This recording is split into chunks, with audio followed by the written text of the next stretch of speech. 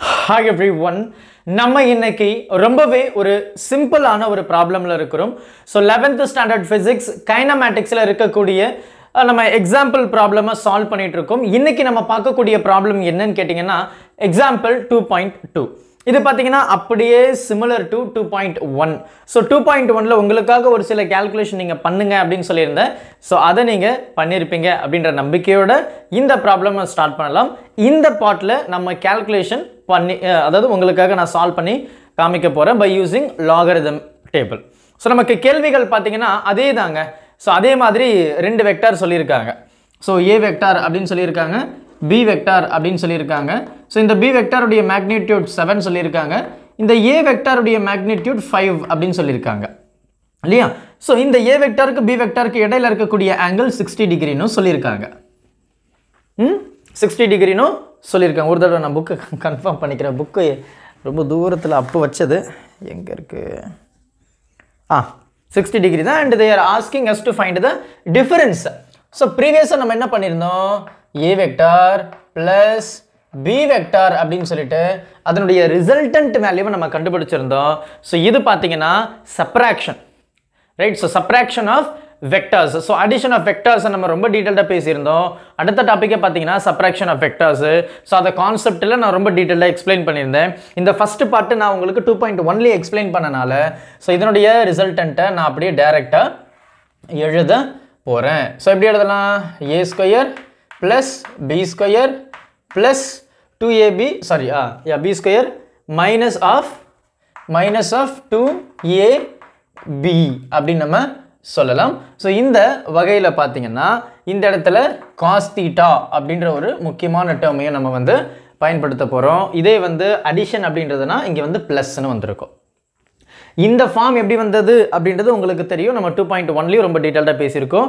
Addition of வெக்டார்ஸ்லையும் டீட்டெயிலாக பேசியிருக்கோம். Subtraction of வெக்டார்ஸ்லையும் டீட்டெயிலாக பேசியிருக்கோம். ஸோ ரெண்டு வெக்டார் இருக்குது அந்த ரெண்டு வெக்டாருடைய ரிசல்டன்ட் அப்படின்னு சொல்லும்போது this is the way you have to follow so அடிஷன்னா plus சப்ராக்ஷன்னா மைனஸ் ஸோ இது வந்து அடிஷன் ஸோ நம்ம இப்போ பார்க்குறது என்னென்னா subtraction right they're asking us to find the difference difference between the two vectors so இந்த வகையில் ஏ உடைய வேல்யூ உங்களுக்கு தெரியும் ஃபைவ் பி உடைய value seven minus of two five seven then cos theta theta பார்த்தீங்கன்னா sixty degree cos sixty degree என்னது? One by two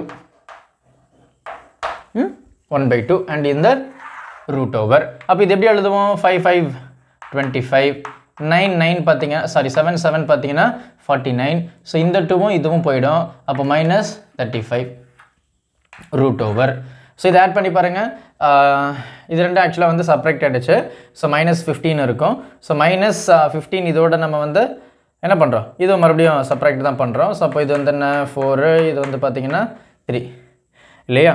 so yeah thirty four அப்போ ரூட் ஓவர் தேர்ட்டி ஃபோர் தான் இதனுடைய ரிசல்டன்ட் அதாவது A vector minus B vector and அது மட்டும் இல்லாமல் நமக்கு வந்து இதனுடைய டேரக்ஷனை கண்டுபிடிக்க சொல்லியிருக்காங்க. ஸோ டேரக்ஷன் அப்படின்னு சொல்லும்போது நம்ம அதே தான் டேன் தான் யூஸ் பண்ண போகிறோம் so tan alpha which is equal to opposite என்ன? பி சைன் தீட்டா அப்படின்னு நம்ம சொல்ல போகிறோம் அட்ஜஸ்டன்ட் பார்த்தீங்கன்னா A minus B cos theta அப்படின்னு நம்ம சொல்லுவோம். இல்லையா? ஸோ அப்போ இந்த ஏவுடைய வேல்யூ உங்களுக்கு தெரியும். Sorry B value sine sine sixty degree என்னது? Root three by two and இந்த ஏ பார்த்தீங்கன்னா ஃபைவ் இது பார்த்தீங்கன்னா seven and cos sixty degree பார்த்தீங்கன்னா ஒன் பை டூ ஸோ இது எப்படி சொல்லலாம்? டென்னு மைனஸ் செவன் என்ன ஆயிடுச்சு? த்ரீ இல்லையா? ஸோ த்ரீ அப்படின்னு இருக்கும். ஸோ இது செவன் இருக்குது இந்த ரூ இந்த ரூட் த்ரீ அப்படியே வச்சுருக்கேன். ஸோ அந்த டிவைடு இந்த டூ வந்து டிவிஷனில் தானே இருக்கும். அண்ட் இங்கே பார்த்தீங்கன்னா நமக்கு என்ன இருக்குது டூ ஃபைவ் uh, டைம்ஸ் பார்த்தீங்கன்னா டென்னு டென்னு மைனஸ் செவன் வந்து three so three by two இந்த டூவும் இந்த டூவும் கேன்சல் ஆகிடுச்சு ஸோ இந்த த்ரீயை நான் எப்படி ரெப்ரசன்ட் பண்ணுறேன் அப்படின்னு பார்த்தீங்கன்னா இந்த மேலே இருக்கிறத அப்படியே எழுதுகிறேன் கீழே இருக்கிற த்ரீயை ரூட் த்ரீ இன்ட்டு ரூட் த்ரீன்னு போடுறேன். அப்போ இங்கே இருக்கிற ஒரு த்ரீயும் இங்கே இருக்கிற ஒரு த்ரீயும் கேன்சல் ஆகிடுச்சு அப்போ நமக்கு ஃபைனலாக இருக்கக்கூடிய வேல்யூ என்ன வருது? செவன் பை ரூட் த்ரீ அப்படின்னு வருது. இல்லையா? செவன் பை ரூட் த்ரீ அப்படின்னு வருது. So seven by root three seven divided by root த்ரீயோடைய value என்ன? One point seven three two அப்படின்னு சொல்லலாம். ஸோ இந்த ரெண்டு வேல்யூக்கும் இப்போ நம்ம லாக் எடுத்து ஆன்சரை ரொம்ப சிம்பிளாக கண்டுபிடிச்சிக்கலாம். செவன் அப்படின்னு சொல்லும்போது அதனுடைய கேரக்டர் ஜீரோ இங்கே log of one point seven three two அப்படின்னு சொல்லும்போது இதனுடைய கேரக்டரும் ஜீரோவாக தான் இருக்கும். ஏன்னா டிசம்பலுக்கு முன்னாடி ஒரே ஒரு நம்பர் மட்டும்தான் இருக்குது இப்போ நான் என்ன பண்ண போகிறேன் லாக் ஷீட்டை எடுக்க போகிறேன் ரைட் ஸோ லாக் ஷீட்டை எடுக்க போகிறேன் ஸோ இப்போ லாக் ஷீட்டு எடுக்கிறேன். Right so log sheet so seven அப்படின்னு சொல்லும்போது செவன்ட்டியில் ஜீரோ தான் நம்ம பார்க்கணும் லாக் செவன்ட்டியில் ஜீரோ பார்த்தீங்கன்னா எயிட் ஃபோர் ஃபைவ் ஒன்று இப்போது ஒன் பாயிண்ட் செவன் த்ரீ டூனா செவன்டீனில் த்ரீயில் டூ செவன்டீன் இருக்குது எங்கே இருக்குது எஸ் செவன்டீனில் த்ரீ பார்த்தீங்கன்னா செவன்டீனில் த்ரீ பார்த்தீங்கன்னா டூ த்ரீ எயிட் ஜீரோ செவன்டீனில் த்ரீ இல்லையா? செவன்டீனில் த்ரீயில் டூ பார்த்தீங்கன்னா five so two three eight five ரைட்டா ஸோ இது ரெண்டு டிவிஷனில் இருக்குது ஸோ நான் செப்பரேட் பண்ணணும். அப்போது நான் என்ன பண்ண போகிறேன் கண்டிப்பாக ஆப்வியஸ்லி நான் பாரோ பண்ணி தான் வேறு ஆப்ஷனே கிடையாது. ஸோ இது வந்து செவன் ஆகிடும் இது வந்து தேர்ட்டீன் ஆகிடும் இது வந்து ஃபோர்டீன் ஆகிடும் இது லெவன் லெவனில் ஃபைவ் போயிடுச்சுன்னா சிக்ஸு ஃபோர்டீனில் எயிட் போயிடுச்சுன்னா சிக்ஸு கரெக்டாக ஆ? ஸோ தேர்ட்டீனில் த்ரீ போயிடுச்சுன்னா டென்னு கரெக்டாக தானே? ஆ ரைட்டு ஸோ அப்போ அதை நம்ம பாரோ பண்ணணும்னு அவசியமே இல்லைன்னு நினைக்கிறேன். ஸோ இதோடய நம்ம முடிச்சிடலாம். ஸோ த்ரீ இது ஜீரோ தான். கரெக்டு ஸோ அப்படி பார்த்தாலும் சேம் தான். ஸோ இங்கே வந்து பார்த்தீங்கன்னா எயிட்டு தான் இருக்கு இல்லையா? கரெக்ட் ஸோ ஒன்று வந்துச்சுன்னா எயிட்டு தான். ஆப்வியஸ்லி கரெக்ட் தப்பு கிடையாது. ஸோ எயிட்டில் டூ போயிடுச்சுன்னா எவ்வளோ? எயிட்டில் டூ போயிடுச்சுன்னா சிக்ஸு இது வந்து அதே தான் ஸோ அப்போ வந்து point six zero double six அப்படின்னு இருக்குது ஸோ அதுக்கு முன்னாடி ஒன்றுமே கிடையாது which means the ten to the power zero அப்படின்னு தான் அர்த்தம்.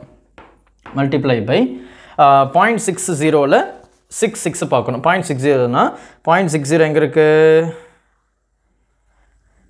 எஸ் பாயிண்ட் சிக்ஸ் சிக்ஸ் ஜீரோவில் சிக்ஸ் பார்க்கணும். பாயிண்ட் சிக்ஸ் ஜீரோவில் சிக்ஸ் பார்த்தீங்கன்னா ஃபோர் ஜீரோ த்ரீ சிக்ஸ் சிக்ஸ்டியில் சிக்ஸு அதனுடைய மீன் டிஃப்ரென்ஸும் சிக்ஸு அதுவும் என்னது? சிக்ஸு தான். பார்த்தீங்கன்னா டுவெல்லு ஒன்றுனா ஃபோரு ஜீரோ ஃபோர் அப்போ ஃபோர் ஜீரோ ஃபோர் டூ அப்படின்னு வருது.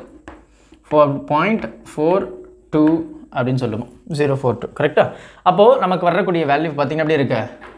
Four point zero four two அப்படின்னு வருது. இதனுடைய ஃபைனல் ஆன்சர் இதனுடைய ஃபைனல் ஆன்சர் பார்த்தீங்கன்னா four point zero four two அப்படின்னு வருது. ஸோ டேன் ஆல்ஃபா அப்போது நம்ம என்ன சொல்லலாம்?